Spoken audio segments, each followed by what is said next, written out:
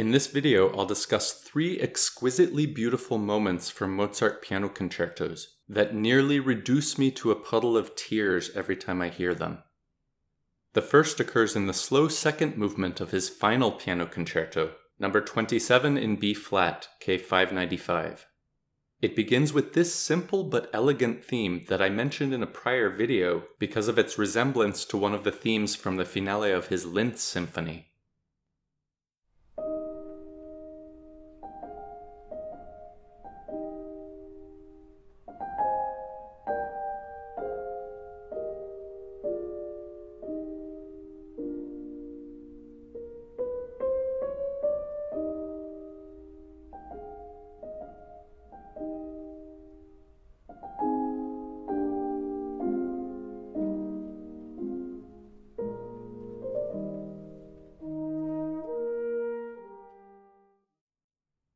Exquisitely beautiful moment occurs at the end of this opening section, when a repeat of the theme we just heard is followed by a divine orchestral tutti.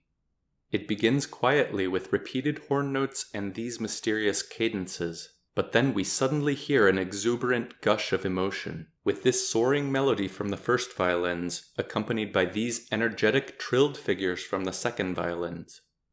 This outburst is answered by a gorgeous 16th note figure from the second violins that accompanies this wistful first violin melody that I'm highlighting purple because it's just restating a portion of the purple melody from the last page. This now repeats with the added warmth of these chords from the winds.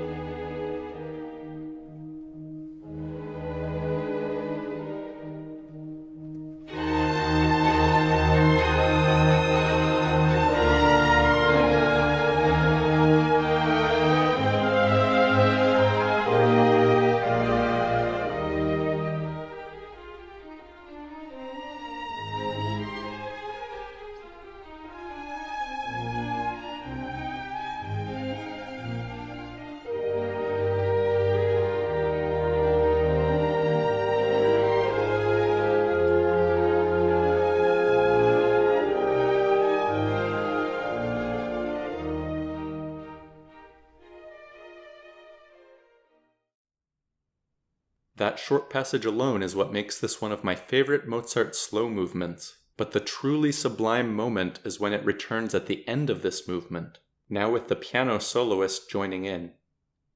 It's introduced by these same mysterious green cadences, but now answered by these arpeggios from the solo piano. The orchestral tutti now repeats with very few alterations until the moment when the winds enter, Remember that the first time they entered together as these sustained chords, while the first violins played the purple melody and the second violins and violas played the turquoise accompanimental figure. Now, when it repeats, Mozart transfigures this entire moment, with the soloist playing the turquoise figure, while the winds now have staggered entries. It's hard to describe how much this simple upward octave leap from the horns affects me every time I hear it. Many of my previous Mozart videos focus on his most contrapuntally complex passages, but in this video I'm hoping to showcase his near supernatural ability to infuse extremely simple passages like this one with otherworldly beauty. I hope I'm not sounding too much like fake Salieri in that famous scene from Amadeus, but fake Salieri definitely had a point, so I'll leave a link to this scene in the description. The oboe now enters with the purple melody, and the flute enters last of all. Notice also this heavenly passage played by the first bassoon, another detail that makes this moment even more exalted the second time.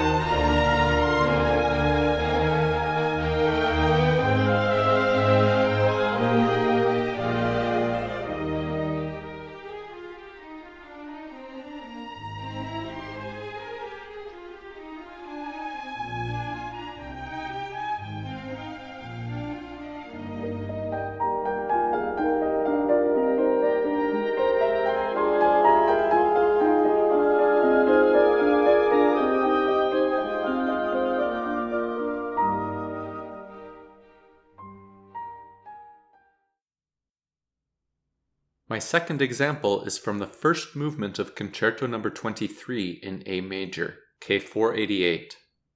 Given the title of this video, you might be wondering why I didn't choose the slow second movement of this concerto, one of Mozart's most exquisitely beautiful utterances, but I already discussed this movement in my video about Neapolitan chords, so please watch that video if you haven't already.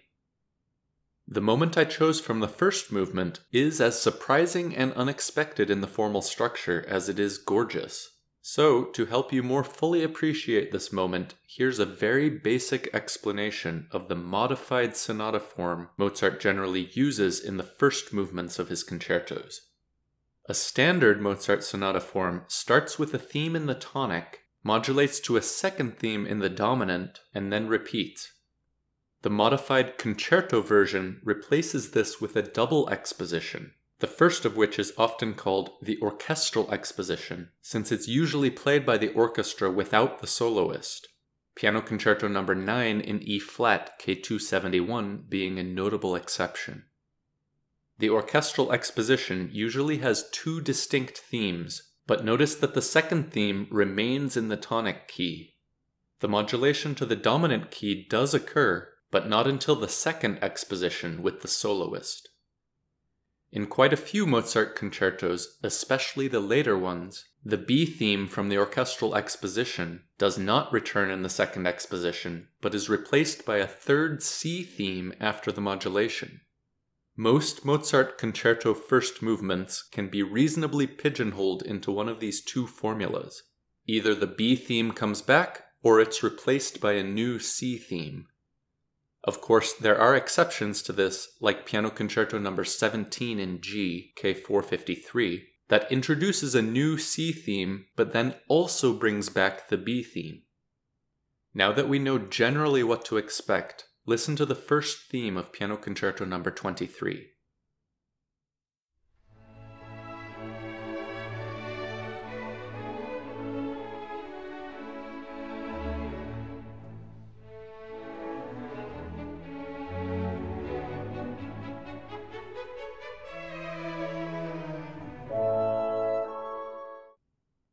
This movement, at least up to the moment I plan to discuss, is an example of the first formula, in which the B theme returns in the second exposition.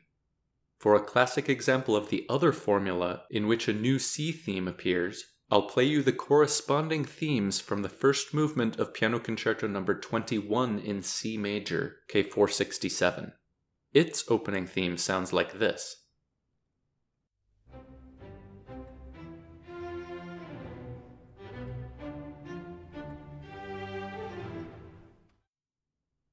Back to Concerto 23, here's what the B theme sounds like in the orchestral exposition.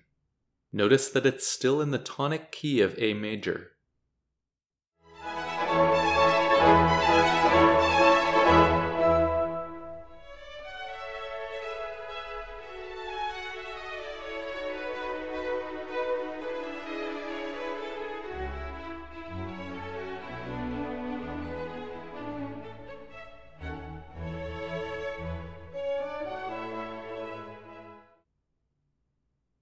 apologize in advance for this next comparison, but I was a child in the 80s, the decade of less popular Disney movies. So when I first heard this Mozart piano concerto as a child, I noticed that this theme sounded a lot like a song from The Fox and the Hound. You're the best of friends. Life's a happy game. You could clown around forever. The march-like corresponding B theme in Concerto No. 21 consists of this almost sarcastic gesture played by the horns and trumpets, answered by the woodwinds. Notice again that it remains in the tonic key of C major.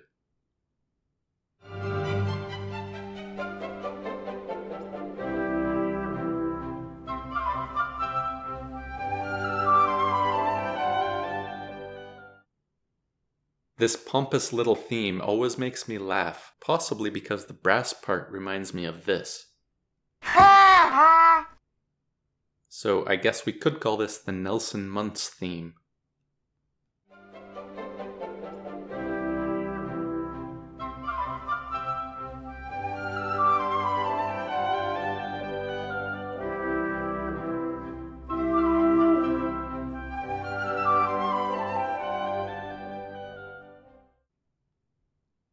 Back to Concerto 23, the orchestral exposition ends with this closing material to introduce the second exposition, beginning with the solo piano playing the A theme.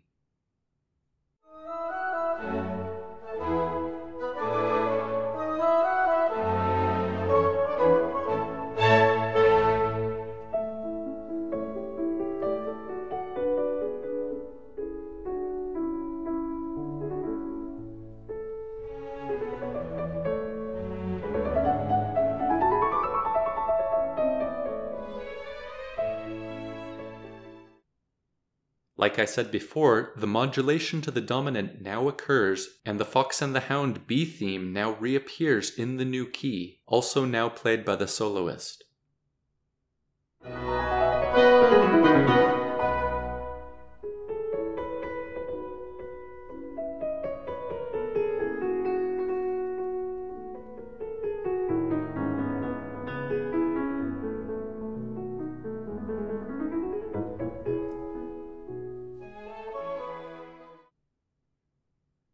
The corresponding moment in Concerto 21 modulates to the dominant but now replaces the Nelson Muntz B theme with this new C theme played by the soloist.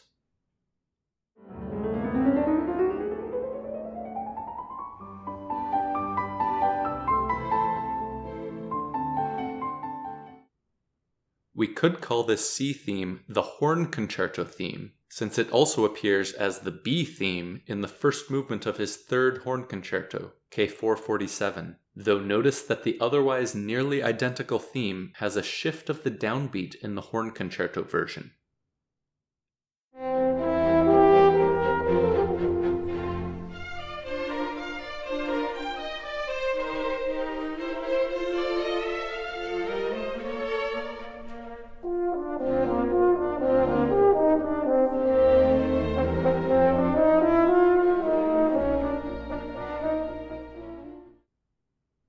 Listen again to the theme as it appears in Piano Concerto 21.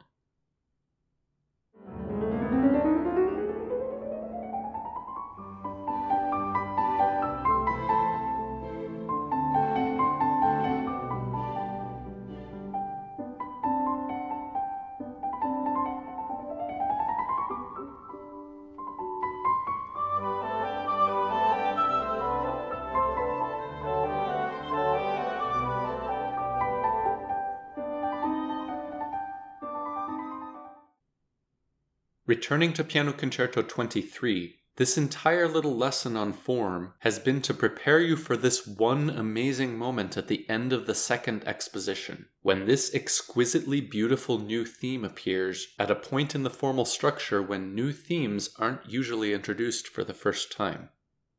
This is one of my all-time favorite themes by Mozart, and while it also seems simple like the first example in this video, Notice that the cellos are playing loosely imitative and loosely inverted counterpoint with the first violins. Also notice how this dramatic silence enhances the surprising nature of this theme's emergence. This short but stunning new theme is now repeated by the soloist as an immediate variation, again with loosely imitative counterpoint between the right and left hands.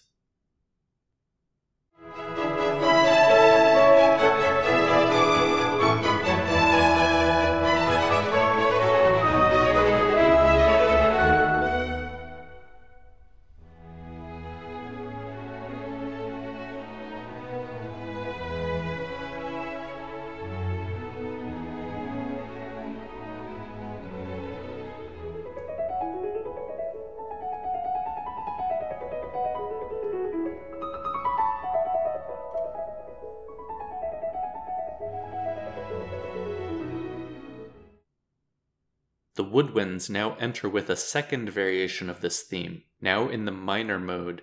This is arguably the beginning of the unconventional development section, in which all the other thematic material is ignored in favor of this new minor mode variation.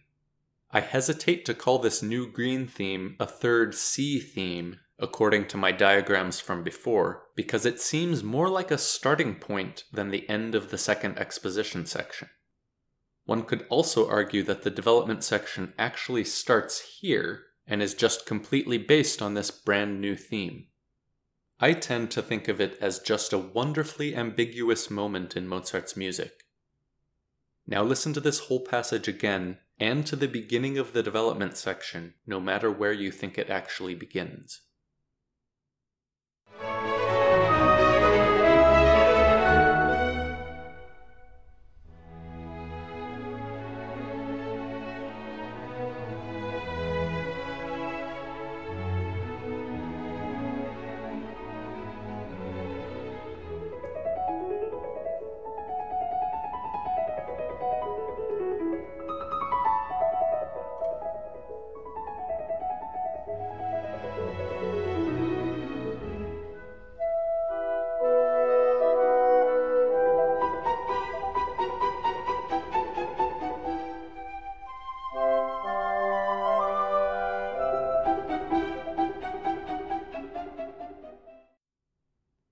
Of course, even after the development section ends, Mozart doesn't let this gorgeous new green theme go to waste, bringing it back twice in the recapitulation section.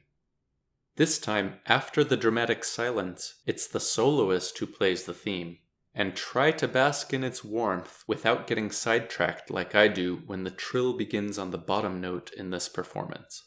Weirdly, the first violins played it the other way in that earlier entrance we heard before. Regardless, the woodwinds now repeat the theme as the soloist decorates it with 16th note runs, leading to this dominant pedal point. Notice this specific configuration in the left hand of the soloist that I'll come back to in a minute, with imitative entries of the green theme from the clarinets that create suspensions on every other beat.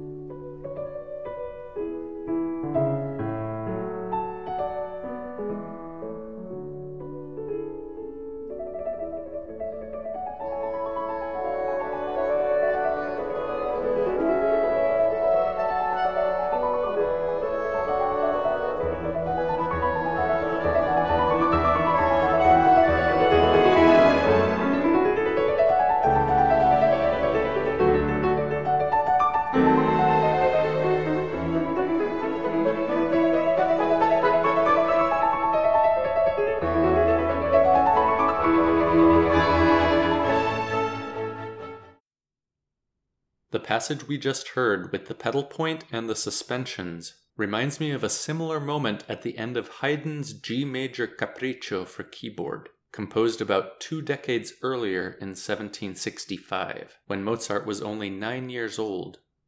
Notice the identical left hand configuration playing the dominant pedal point, and the identical suspensions when the right hand plays the main theme. But before we listen to this, I'd like to address some of the comments my videos get, complaining about the silly cartoon comparisons, or the fart jokes, or the egregious use of slang words. These commenters seem to want classical music to be the protected province of humorless, buttoned up elites who value decorum above all else. But since they are valued members of my audience, I hereby pledge to stick to the music and avoid these juvenile distractions, at least for as long as I possibly can. Back to Haydn, the opening theme of this capriccio is actually an old Austrian folk song with a title that roughly translates as Eight men are required to castrate a male pig. Notice the quirky five bar opening phrase and the hilarious repetitive answering phrase that ends with a fermata before the opening phrase repeats.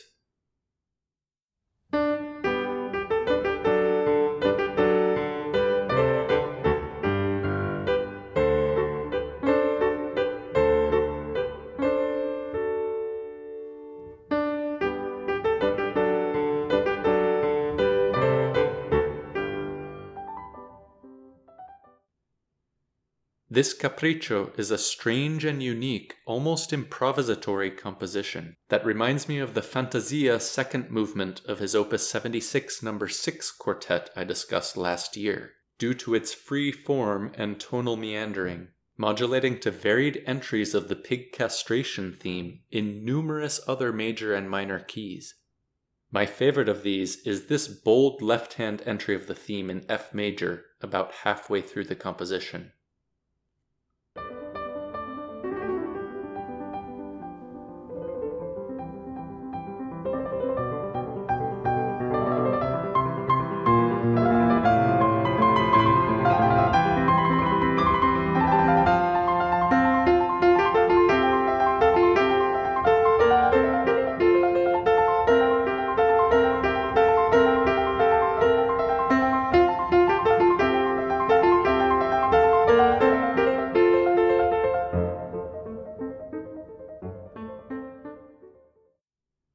By the end of the piece, we've finally made it back to G major with this last entry of the theme.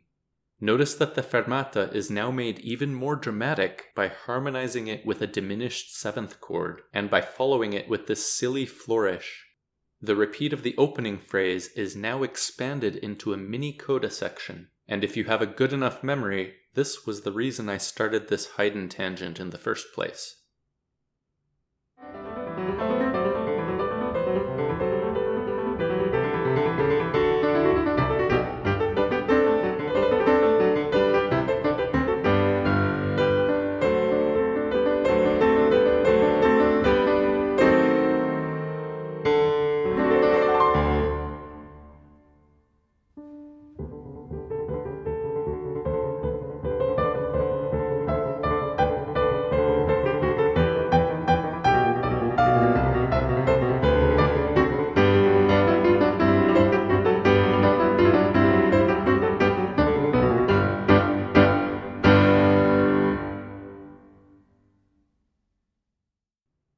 Play the Mozart and Haydn passages again for comparison.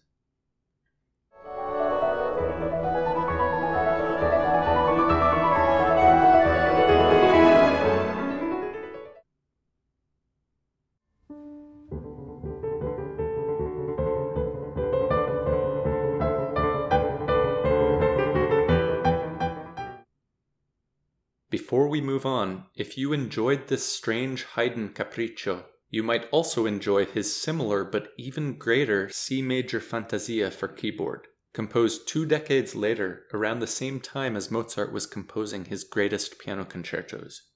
This piece is based on another old Austrian folk song entitled The Farmer's Wife Has Lost Her Cat.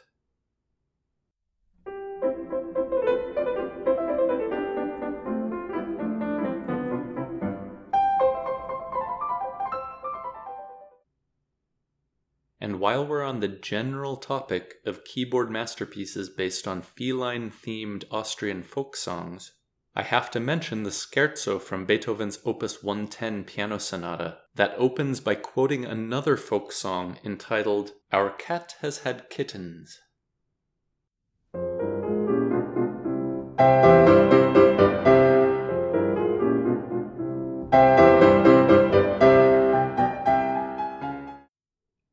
Finally, back to Mozart's 23rd piano concerto. He very briefly brings back this green theme one last time, now played by most of the orchestra to introduce the cadenza.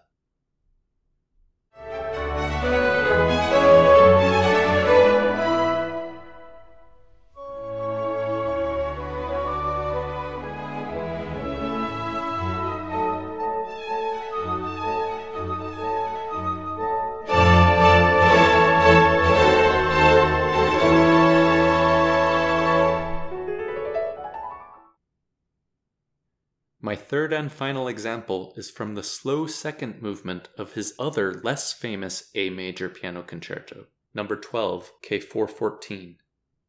It begins with this rich, almost hymn like theme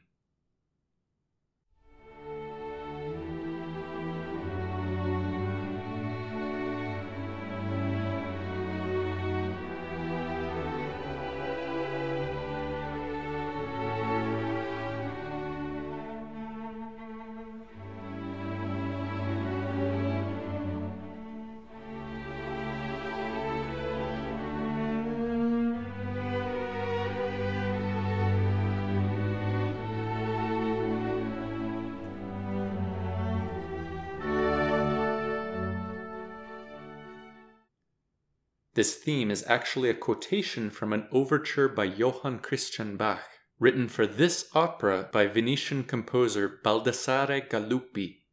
Since I couldn't find the score to this overture, I'll leave up the Mozart version while I play the audio from the Bach overture for comparison.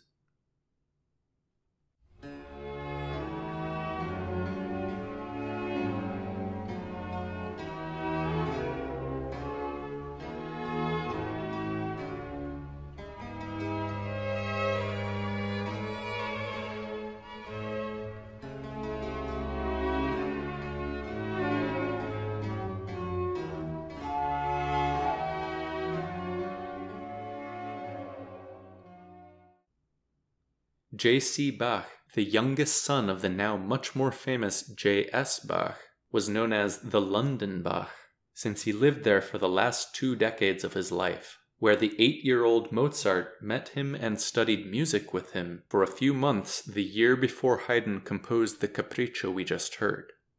Years later, when J.C. Bach died in 1782, Mozart reacted to the news in a letter to his father, writing, What a loss to the musical world! And later that same year he composed this concerto with this quotation as a tribute to his fellow composer. When Mozart himself died less than a decade later, Haydn similarly wrote in a letter, I was for some time quite beside myself over his death. I cannot believe that Providence should so quickly have called an irreplaceable man into the other world. He then gave Mozart a similar musical tribute in the slow movement of Symphony No. 98 that begins with this theme.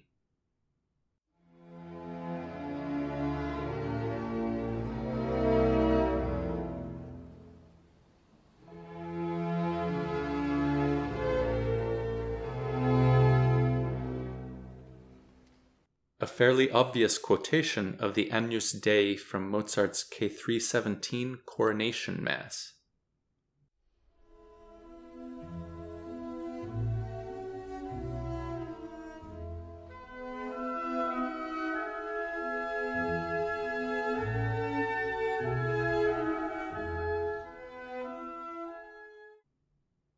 Finally back to Mozart's Piano Concerto No. 12, the exquisitely beautiful moment occurs on the very next page of the score, when we hear another exuberant forte orchestral tutti, with the violins playing this green figure answered by this pink figure that enters piano and then repeats pianissimo as it fades to end the section.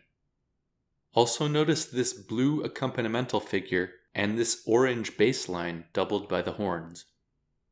Now listen to this movement up to this passage, after which the opening J.C. Bach theme returns, now played by the soloist.